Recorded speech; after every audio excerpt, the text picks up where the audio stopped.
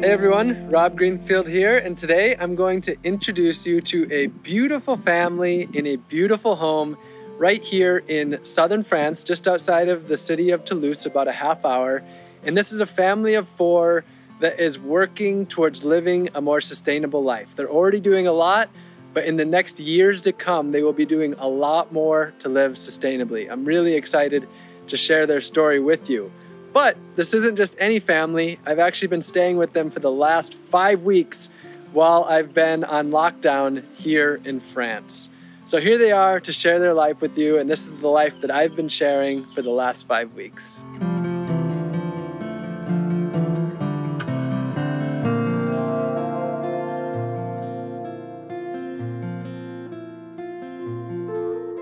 It was a desire to have a wood and to have wood for, for our home. And um, so it has been designed to be not the most sustainable house you can imagine, but I mean the most we can, we imagine. So the thing is, you know, first we have all those windows, very wide windows, and they are on the north of the house. So it might be weird to think that we put the big windows on the north, but we are in a very, very hot region of France. So if we had put those, you know, big windows and we need light inside, if we have put these big windows at the south of the house, it would be so, so hot in the summer that would be impossible to stay in the house. So we did, you know, the opposite, and which what is what most of the people around in the south of France are doing. So we move inside.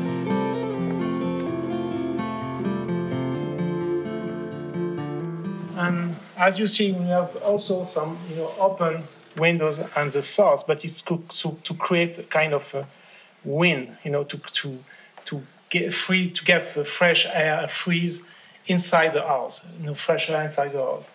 And uh, so the house is very, has been, you know, designed to be very first, very simple house if you look outside, and and very useful one. I mean, if there is three parts of the house, over there we are where my room and my, my wife.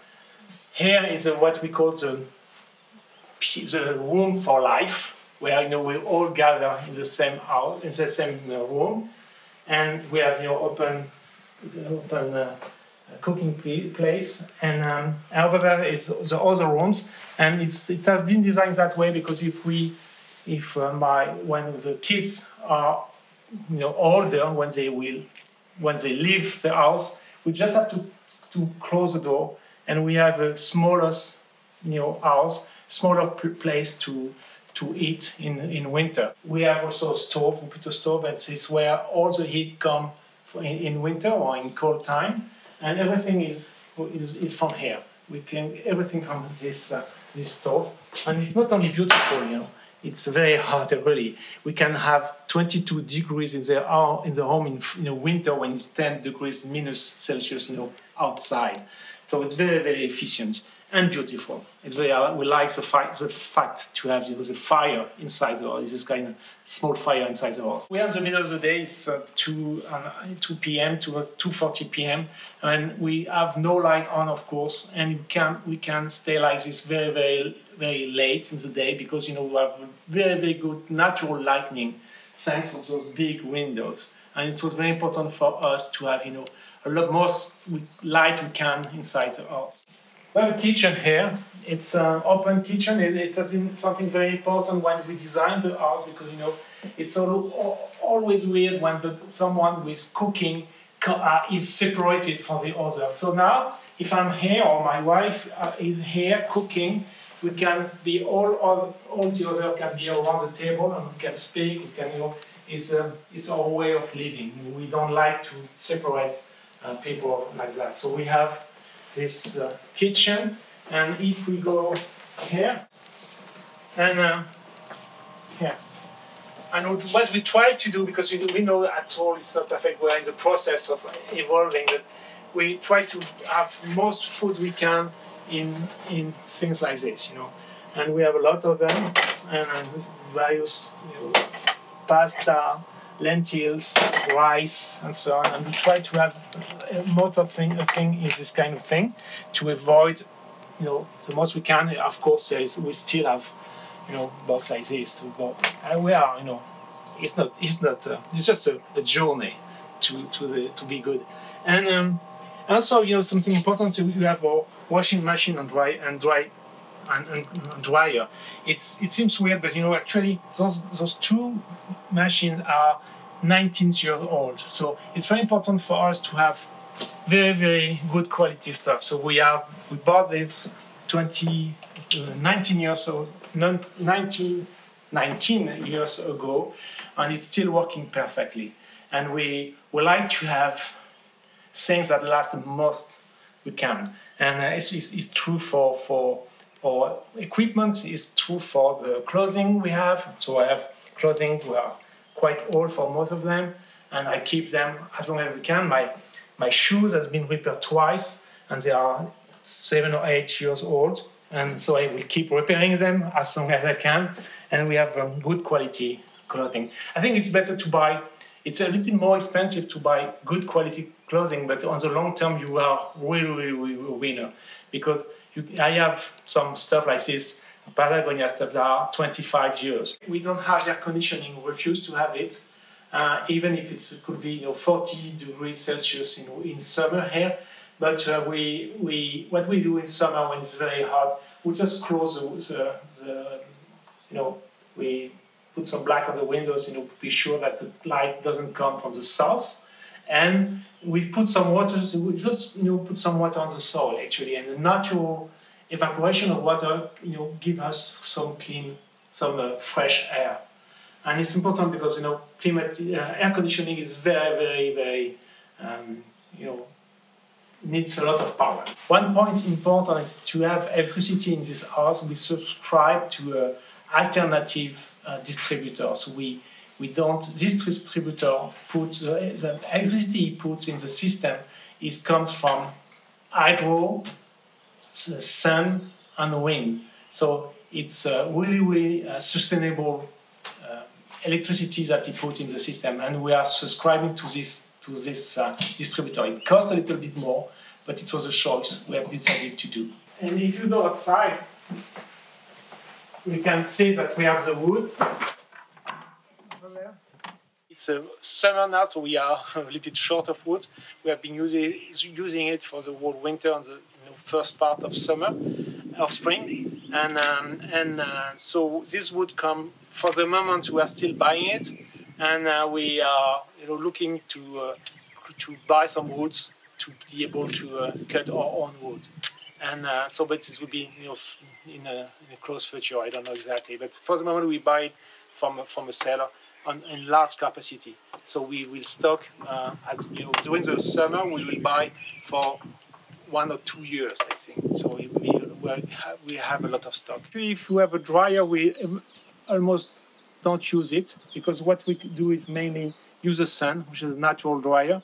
And in winter time we do it just inside because you know because of the heat that the, the stove give us you know we we don't need to use a dryer so you we use we have this dryer but we have a, ever you almost not use it well, stock of water actually we are at the moment we have ability to have something like 3000 liters. We we plan to have 7000 liters and i will explain to you why later. Uh, as I told you, we haven't had really rain for almost six weeks now, so it's very dry. We are hoping for the rain. is something very weird, you know. When we look at the forecast, people always say, "Oh, it's going to be. We are going to have a very nice day." For us, you know, a nice day is not a sunny day. We like when it is water. We have a pool. We have a pool which is a, a pool with salt water, and uh, what we try now is to put when we have to fill it up, do it with you know, rainwater. It's why we need so much water. 7,000 liters is a lot, but we need it because when it's uh, in summertime, we need to put water in, in, the, in the pool to keep the level of the pool. Here is a garden, so we, we started it a year ago. Now we are expanded it a bit, a little bit. We are, we are doubling, almost doubling the size this year, and we plan to, to go even more than that in the next years. And the front of the house, we are you know, developing new area for, for gardening. And, um, and we have a compost over there. We have, I mean, two composts, that's one of the one of the big one. And uh, we like to compost the most we can. And um, in the garden now we have planted mainly potatoes. Uh, uh, what we have? Potatoes, radish, um, uh, onions. Uh, what do we have? Salads and things like that. And we are developing, you know, we are preparing the, the tomatoes, which is uh, very important, and some other, uh, a lot of other vegetable. And uh, what we like to do, because you can see there is a lot of place, we plan to have some, also some uh, uh, grape here, and on this because it's very difficult, difficult soil, and, but it could be good for grape, and um, and some fruit trees. So you know, but it's a long process. It's not we can't do everything in a in very short time, because we have been here for three years, and the first year was mainly to, to finish the house. So here are our vehicles. Actually, we have quite a, I mean, could see a lot of vehicles, but most, I mean, all of them have been have been um, bought used. They are old used car. We bought them sometime very long time ago, and um, I have a motorcycle which is uh, 29 years old, and um, and the four-wheel drive car that we used main, only when we have to carry heavy stuff because we we have often to carry very heavy stuff in, in what we are doing. Um, we it's a 20 years old car.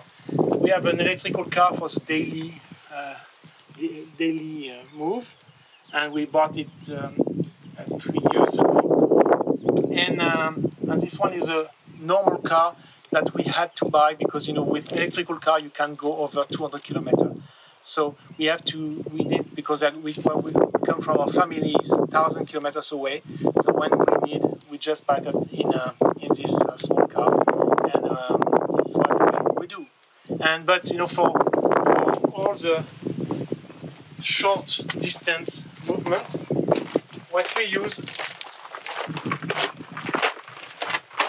what we use is a bicycle. So we have several bicycles. And uh, that's what we use when we have to, you know, to go on short distance because it's, it's easier and it's healthier for us. And um, so, but so I think, uh, yeah. So we are in the process of, uh, you know, doing it. So it's a, it's a journey. Uh, I always, I always say it's a journey.